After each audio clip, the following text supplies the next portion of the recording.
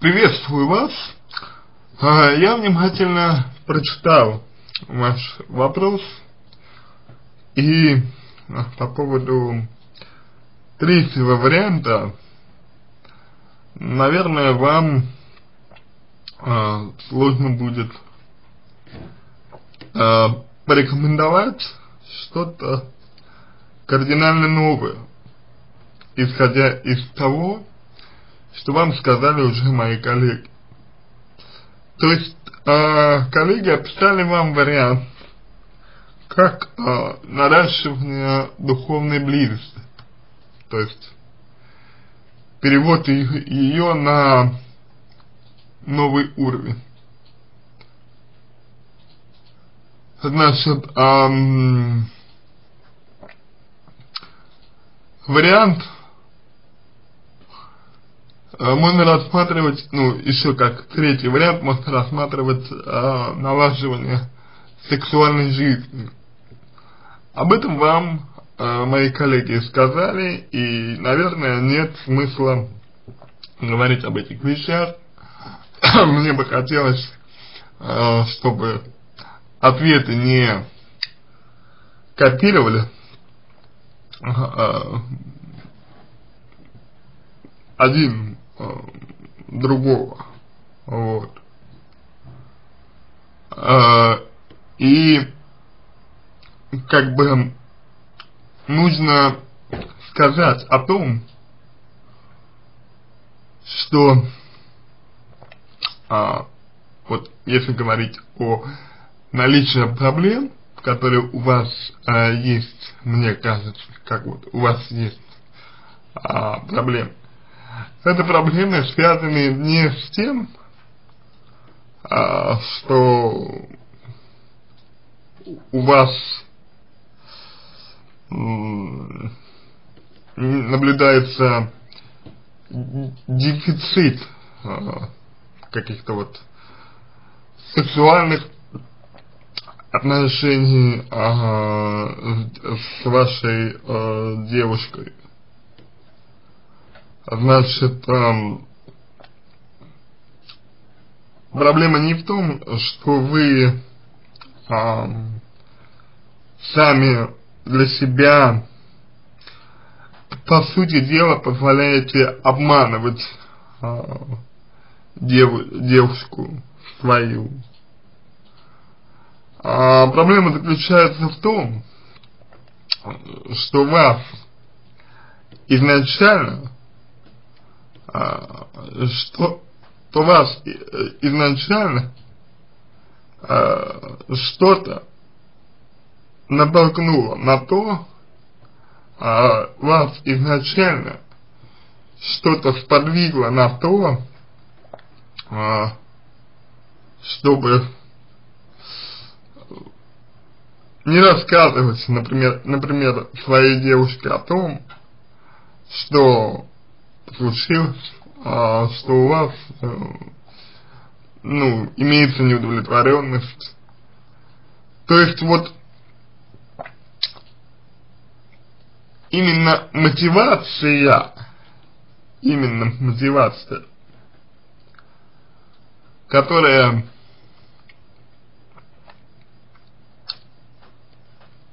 спровоцировала вас на то, чтобы, например, своей девушке врать, мотивация, которая спровоцировала вас на то, чтобы э, скрывать от девушки свои желания, вот именно это и является самой главной проблемой.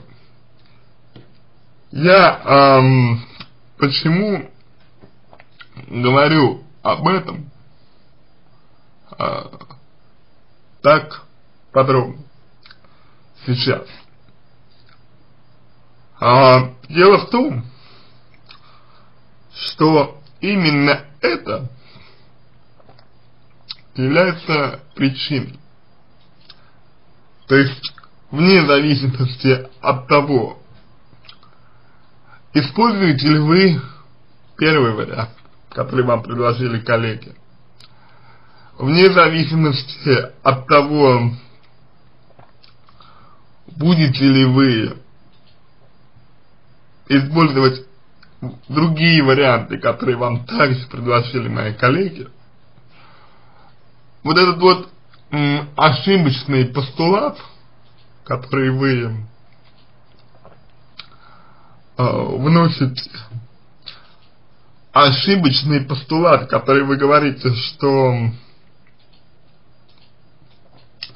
у вас с девушкой э, есть э, как бы огромная духовная близость, вы не замечаете.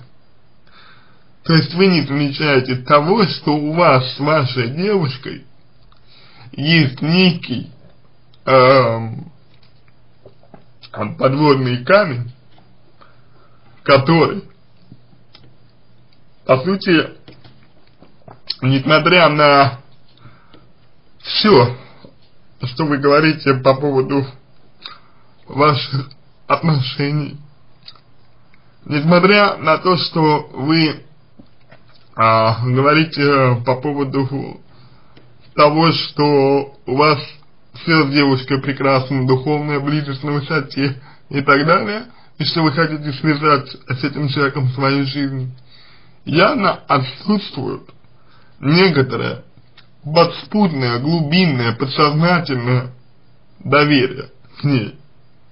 Иначе вы в тот момент, когда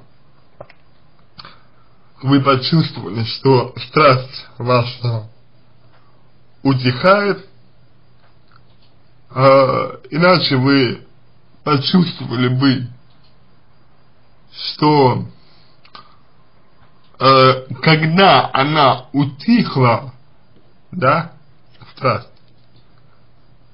об этом нужно разговаривать. То есть в тот момент, когда вы ощутили, что у вас с вашей э, девушкой есть некоторые проблемы, в этот момент а, уже нужно было разговаривать с ней, предлагать какой-то вариант, предлагать какой-то вариант для того, чтобы проблему решать. Но вы ее не предложили, и, соответственно, из-за этого возникли все ваши проблемы. И понимаете как? На мой взгляд, на мой взгляд, э, как бы можно можно э, применять разные методы для того, чтобы проблему решить. На мой взгляд, э, можно применять разные выходы из ситуации для того, чтобы ваша проблема с девушкой была решена. Но проблема в том, а, что вы как бы решаете саму проблему с внешней стороны и не решаете ее в корне. И вот я не увидел того, э, я не увидел подтверждения того, что я сейчас говорю, у своих коллег. То есть я не видел того, что коллеги вам пишут, а почему вы, собственно, не доверяли своей девушке. Ну, я э, читал не все ответы, э, безусловно. Я э, читал не все, э, как бы, комментарии на ваш э, вопрос, э, вот, но э, я все же думаю, что этот момент очень важный. И вы о нем, об этом моменте, к сожалению, не говорите. То, что вам хочется, то, что вам хочется секса с девушкой, с другой девушкой, это, безусловно, э, нормально. Э, то, что вам хочется свежести в своих сексуальных отношениях, в принципе, для себя. Это, пожалуй, тоже нормально. Но то, что вы а, не сказали почему-то девушке о своих изменениях, изменениях в понимании, изменение э, в понимании того, э, что делает вас счастливым в отношениях. А секс это один из неотъемлемых важных черт э, отношений. И то, что вы этого, этого не сделали, говорит о наличии определенного противоречия между вами. Определенного противоречия между вами и определенного противоречия а, уже внутри вас, а, внутри вас самого. И вы знаете, у меня складывается ощущение, что вы разделяете секс и духовную составляющую отношений. То есть для вас это для вас это разные вещи. В глубине души на своем подсознательном уровне вы чувствуете я так э, полагаю, что вы чувствуете дифференциацию э, между сексом и э, между э, духовными отношениями. И вот почему вы ее разделяете? Почему вы разделяете отношения на эти две части? Скорее всего, э, связано с тем, что опять же подсознательно в самом сексе э, со своей девушкой, с той, с которой вы хотели, ну, хотите э, жить вместе и с которой вы видите свое будущее. Так вот, скорее всего, в сексе вы не были свободны. Именно с ней. И этот момент, почему вы а не были свободны с ней в сексе? Почему вы не настолько доверяли ей в интимном плане, что не говорили о своих желаниях? Говорит о том, что, простите, а, вы что-то не принимаете в себе.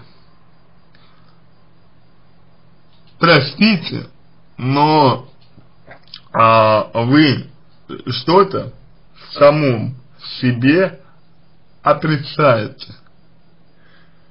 Что-то связанное с сексом, что-то связанное с э, интимной личной жизнью, что-то связанное с э, вашими стремлениями, вашими желаниями, вашими потребностями и, соответственно, противоречия между этим. И вот э, эти противоречия на глубинном уровне я бы рекомендовал вам разрешить. И а, первое, значит, а, первое, о чем я хотел бы вам сказать, это то, что нужно э, проследить хронологическую, э, хронологическое развитие между, точнее от начала ваших отношений и до начала охлаждения, а также проследить все ваши воспоминания которые связаны э, с, с этим, с этими фактами, с этими моментами и так далее. И мне бы э, хоте, э, хотелось, мне бы хотелось, чтобы вы с этого начали. чтобы вы для себя подумали о том, а, что вас удерживало, что вас останавливало эм, от того, чтобы, ну, чтобы поговорить с девушкой, чтобы рассказать ей о своих желаниях. Вот это то, о чем вам стоит подумать. И я думаю, что с этого нужно начинать работу. И когда ваши противоречия, когда ваши а, вот эти вот противоборствующие стороны, по сути дела конфликт между вашим «я», между несколькими вашими «я», а,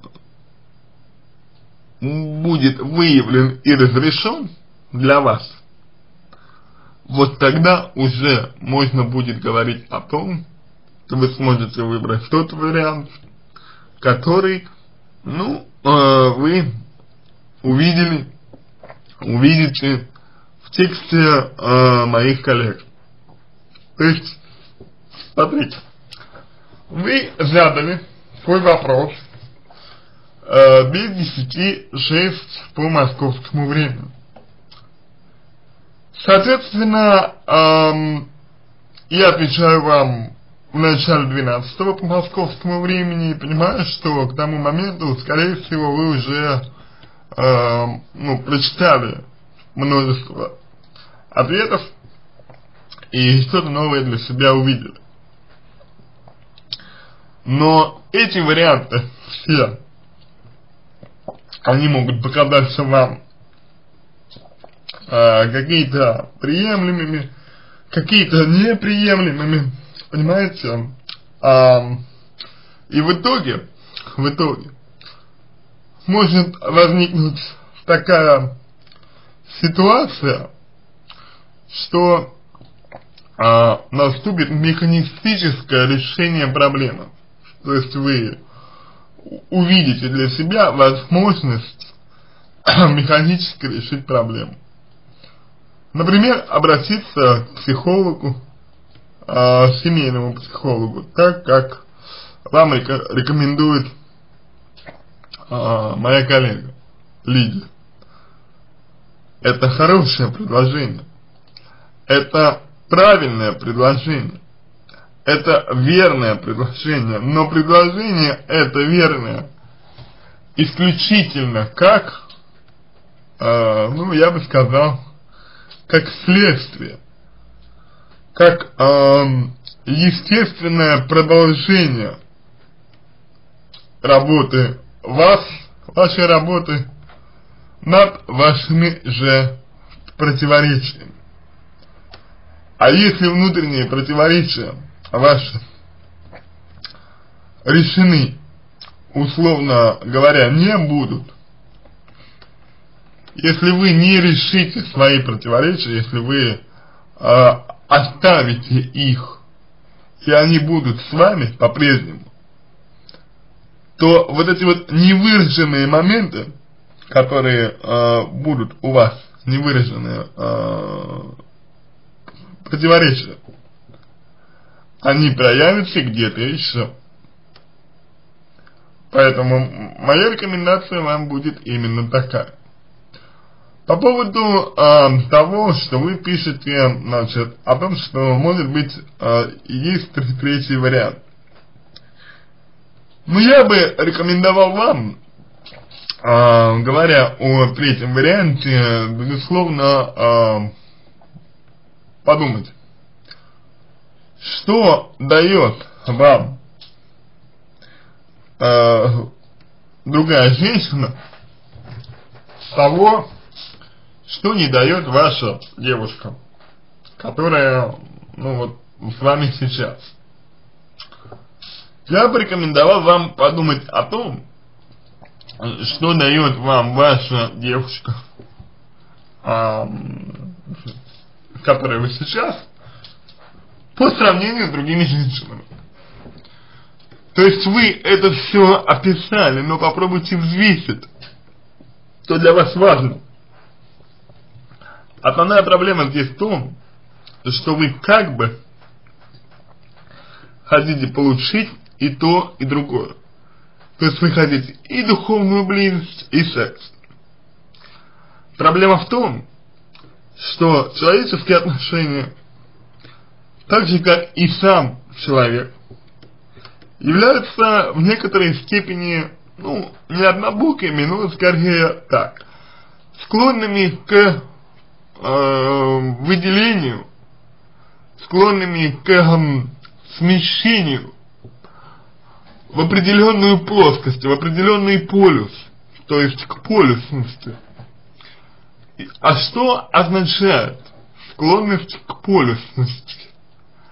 Означает, э, склонность к полюсности означает в первую очередь то, что э, поскольку сам человек склонен к полюсу, то есть у него есть какие-то ярко выраженные э, стороны э, своей личности, у него есть ярко выраженные э, какие-то вот э, ну, черты, качества и так далее. А есть, соответственно, слабо выраженные и отрицательно выраженные. Так вот, а отношения между людьми, будучи э, даже человеческим образованием, э, как бы развиваются и имеют ну, такую же характеристику, что и сам человек. И поэтому в отношениях всегда э, что-то превалирует над другим. То есть что-то одно превалирует над чем-то другим. И это нормально. Люди понимают, что если, например, есть духовная близость, то есть есть э, превалирование разума, соответственно, меньше страсти. Потому что там, где разум, там э, страсти меньше всегда. Потому что страсть, влечение это неосознанное. Как правило, это неосознанная, эм, неосознанная реакция, неосознанное поведение человека, влечение. Вот то, что у вас есть, это влечение, ну, по, по сути дела, влечение. Я не думаю, что вы будете э, с этим спорить. Тем, что у вас влечение. А раз так, раз э, речь идет о влечении, то там, где есть влечение, всегда отсутствует разум. Это значит, что одно исключает другое. Но в человеке, в человеке, как такового исключения, конечно же, нет есть как бы э, доминирование одного на других. И поэтому в любых отношениях вам всегда нужно что-то выбирать. То есть что-то для себя вы выбираете. Вы говорите, мне там важно, э, допустим, э, мне важно, чтобы у меня с девушкой, э, например, были духовные отношения это говорит один, допустим, человек, один муж, мужчина. А кто-то говорит, нет, мне в девушке важен э, секс с мне важен в первую очередь, мне важен секс. И как бы э, все остальное это уже потом, это, это уже, ну как, на второй план отходит. Понимаете? То есть момент здесь именно в том, как человек для себя расставляет приоритет но всего достичь невозможно. И поэтому это первое, что вам нужно понять. Находясь в отношениях с человеком, всегда приходится чем-то жертвовать. Одно э, не исключает, но подавляет другого. Такова природа человеческих отношений. Если вы этого не поймете, если вы к этому не придете, если вы это не осознаете и не сделаете своей э, мыслью, если вы не сделаете это своим мышлением, частью своего мышления, скажем так, правильно, частью своего мышления, если вы это не сделаете, то можно говорить о том, что вы всегда будете метаться, вы всегда будете метаться из одного в другое. И строя идеальные отношения на духовном плане, на духовном уровне, вы э, будете проигрывать в сексуальном. А строя сексуальные, будете проигрывать на духовном. То есть что-то вам нужно для себя определить, определить именно приоритет того, что для вас важнее. И как, э, после того, как вы определите для себя этот приоритет, после того, как вы э, поймете, увидите его для себя, этот самый приоритет, вам будет куда легче э, уже думать, к, к чему вы стремитесь, чего вы хотите, что для вас важно и какой вариант э, вам больше подходит. Условно говоря, подходит ли вам вариант, например, того, чтобы вы просто поговорили со своей девушкой, э, ну и пришли, например, к такому пониманию, что у вас недостаточно доверия между, между вами, вам нужно о чем-то поговорить. Девушка совершенно не обязательно знать, что вы изменяете. Девушка, девушка совершенно не обязательно знать, что вы там имели связь на стороне. Вы имеете полное право ее от этого, ну, э, защищать. Вы имеете полное право ей об этом не говорить. Но и девушка со своей стороны имеет полное право не быть обманутой. А сейчас вы ее обманываете, и вы правильно делаете, что сомневаетесь. Вот обманывать девушку, конечно же, не, нельзя. Особенно, если вы ее уважаете, и особенно, если вы ее любите. любите.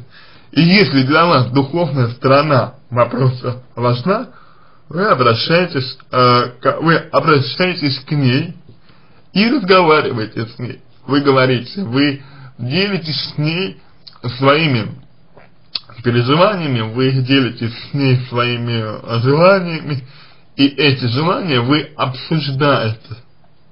И обсуждая желания, вы приходите к тому, что она может для вас сделать сексуальном плане, э, чтобы вы испытывали удовлетворение и чтобы не испытывали потребности э, в том, чтобы, ну, э, как бы ходить на сторону, да, чтобы не испытывали потребность в том, чтобы ее предавать, ее там обманывать и ей изменя, изменять.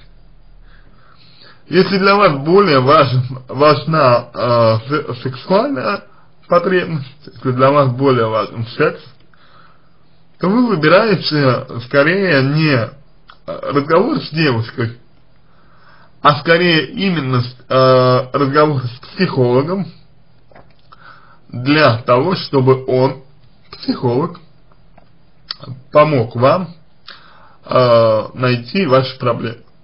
И вы э, действуете по э, пути, который вам предложила Лидия. То есть, по сути, вы э, делаете что? Вы э, пытаетесь разнообразить свою сексуальную жизнь. То есть, вы предлагаете девушке какие-то инновации в сексе, вы говорите, а давай попробуем это, а давай попробуем это, а давай попробуем это, и, или думаете, что для вас самого важнее, а, именно все, что вам нужно, и просто-напросто в процессе пытаетесь реализовать это с вашей девушкой. То есть, понимаете как, вы определяете, что для вас важнее, что для вас приоритетнее, и в этом направлении двигаетесь. Но только так, и никак иначе. Только определив свое противоречие, определив того, чего вы хотите, определив, что для вас важнее, вы организуете свою деятельность по достижению этого. И это то, что вам, то, что вам нужно сделать. Это то, к чему, к чему вам нужно стремиться, это то, а, как вы можете решить свою проблему. То есть третий вариант, это не какое-то абстрактное а, решение, это не какое-то решение задачи, которого вы, например, не знали. Знаете, как э, студент должен э, решить какую-то задачку, да, он не может ее решить, потому что у него не хватает там знаний. Он вот сидит, бьется над ней, бьется, бьется, а потом э, однажды внезапно вдруг э, его осеняет, и он как бы получает озар, озарение, и, и в этом озарении он как бы находит решение. В психологии это называется инсайт. Так вот, это работает не так. Вы сперва э, находите то, что для вас важнее. Вы сперва э, определяете свои приоритеты, вы сперва определяете, что для, для вас важнее, и определяете свои противоречия. И вот уже тогда начинаете действовать. И решение после этого, как ни парадоксально, приходит, э, или придет, лучше сказать, наверное, к вам саму по себе. Без инсайта. Потому что это не, это не какая-то задача, которую нужно вот решать именно, э, ну, ну, так как обычно реш, решается любая задача. Это именно э, задача немного другого характера. Это задача именно на понимание того, чего вы хотите, сами для себя. Чего вы желаете, сами для себя. И вот в этом контексте, в этом ключе, вам и нужно, и нужно двигаться. И тогда, я думаю, э, дело лишь э, времени э, в решении вашей э, проблемы. Очень хорошо, что вы э, задались этой целью, очень хорошо, что вы озаботились этим, потому что многих э, мужчин это не волнует, многих мужчин это не беспокоит, многие мужчины предпочитают э, прятать голову в песок, и я думаю, что вы в этом плане большой молодец. Но теперь осталось э, продвинуться дальше э, в этой позиции и э, предпринимать уже какие-то реальные шаги для разрешения ситуации, потому что вы совершенно правы, а, так дальше продолжаться не может. Отдельным пунктом мне бы хотелось э, сказать, чтобы вы определили для себя место э, во всем этом своей девушке.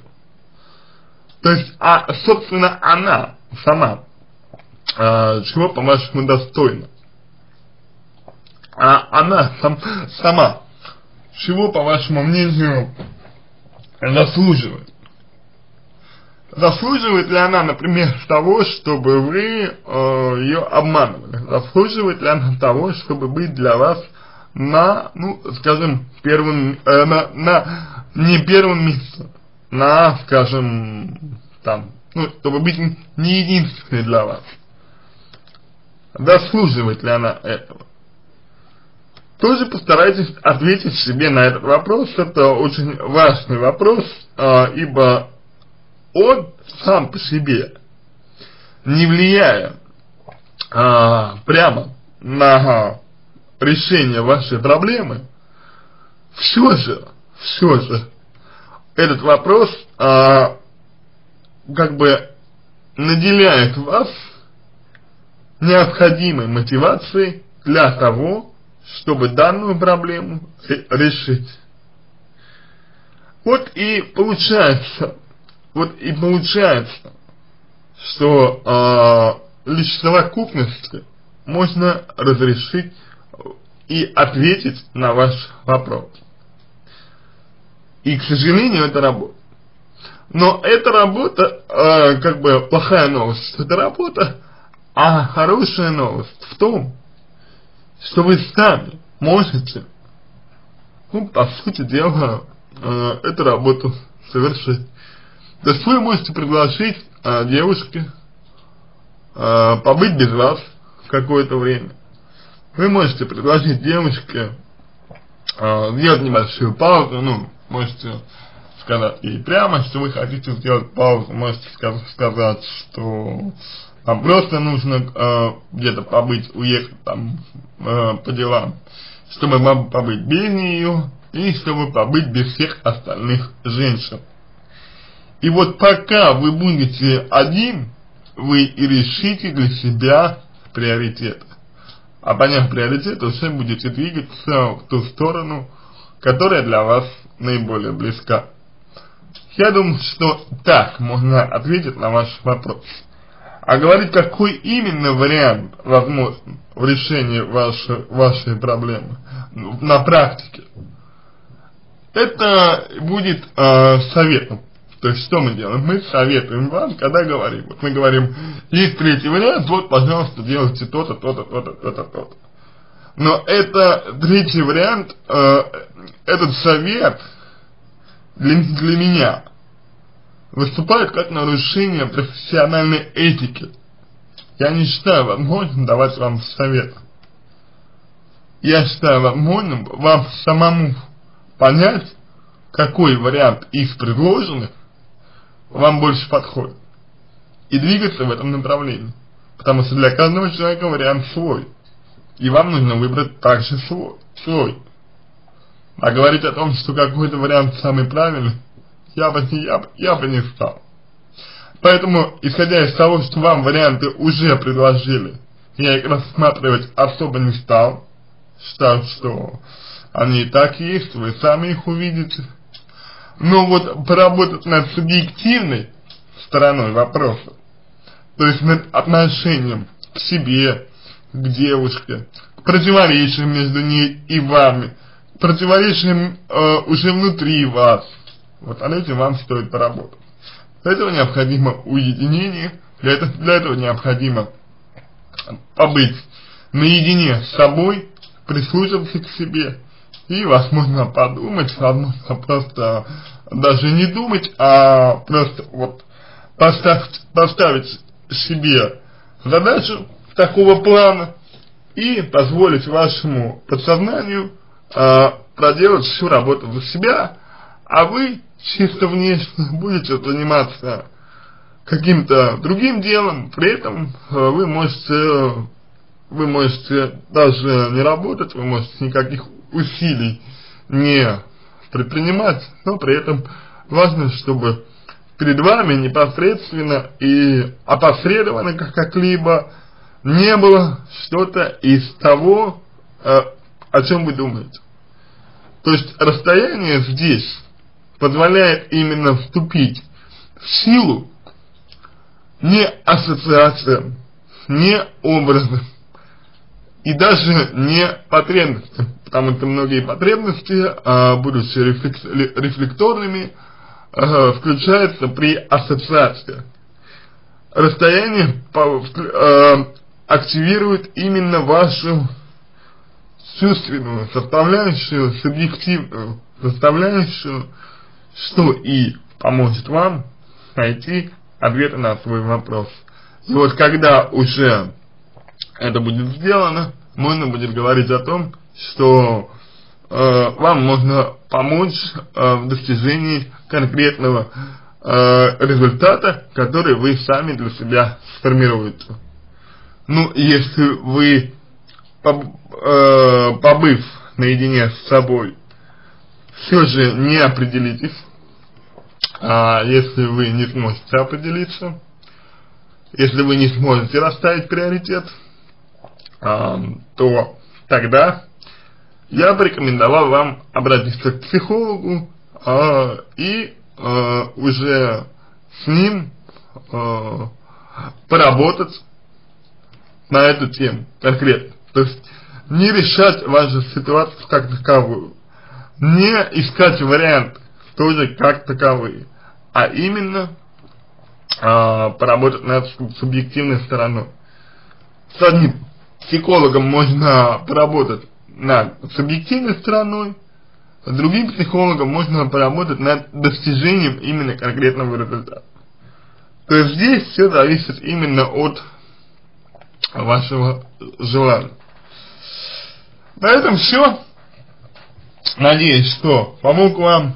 Если какие-то вопросы остались, обращайтесь в личку «Помогу». Если вам понравился мой ответ, а, буду благодарен, если сделаете его лучшим. Желаю вам принятия верного решения, а, желаю вам всего самого доброго и удачи!